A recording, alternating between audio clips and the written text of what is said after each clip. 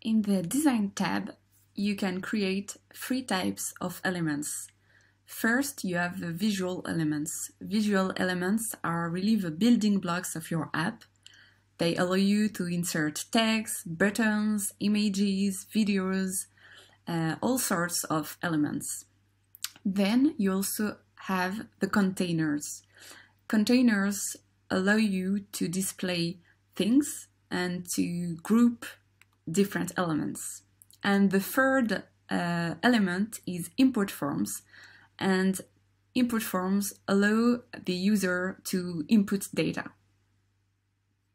Bubble is a drag and drop tool. So whenever you want to add a new element, you just click on the element, for example, text, and you draw it on the page where you want it to be.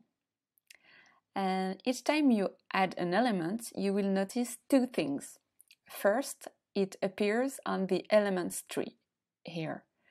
And the second thing is that a property editor will appear.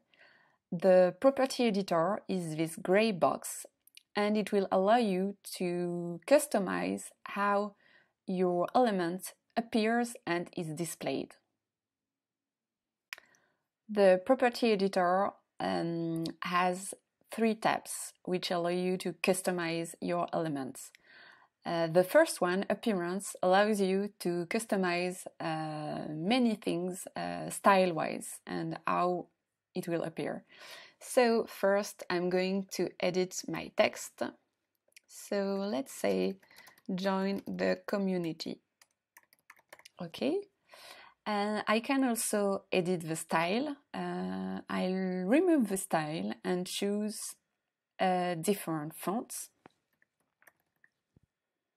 Okay, I'll make it look uh, bigger, nice, and maybe I'll make it a light gray. Okay. Um, in the conditional tab, you can you can define conditions uh, you can say when this happens, then this text element is going to look that way. For example, when the page is smaller, uh, you can choose to make the font smaller, for example. I'll show you this example. Like, let's say when the current page width is smaller than this, let's say I don't want this element to be visible, for example. And then we have the transitions uh, tab, which allows you to animate styles.